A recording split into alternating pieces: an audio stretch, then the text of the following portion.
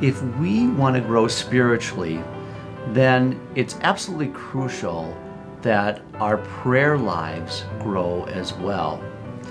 We learn our prayers generally as little children, usually from our parents, and these prayers, these vocal prayers, are wonderful things because we're filling our imaginations and our minds with the words of Scripture, the words of the church, and these things orient us toward our final end, who is God. But there's also a danger, of course, in doing this because once we memorize these prayers, well, then they become rote. We begin saying them without even thinking about them, and our prayer becomes empty.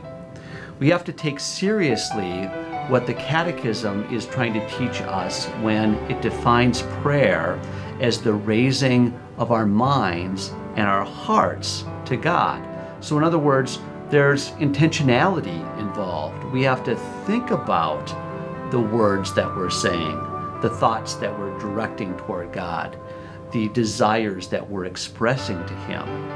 And then also realizing that prayer is a form of communication, it's really a two way street. So just as we're being intentional about expressing our thoughts and our desires to God, so also we've got to be serious about listening to Him and trying to discern what difference He's trying to make in our lives.